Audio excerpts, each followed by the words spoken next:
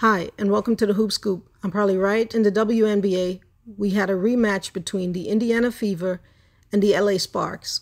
The last time these two teams met, they played each other tight and close. The Fever escaping with a victory 78 73. LA was looking for some get back, and Caitlin Clark looking to prove CBS wrong that she is, and not Cameron, the number one ranked rookie, despite her team's record. At the tip of the first quarter, Caitlin Clark would knock down a 25 foot three pointer and a pair of free throws. Cam Brink would answer with a three pointer of her own, and the rest of the LA cast would go on to win the quarter 24 15. The second quarter started much like the first. Caitlin Clark knocked down a 28 foot three pointer, a layup, and some free throws, including a, including a flagrant foul by McDonald on Clark. The number four overall pick, Rickea Jackson, would score seven of her points in the second quarter.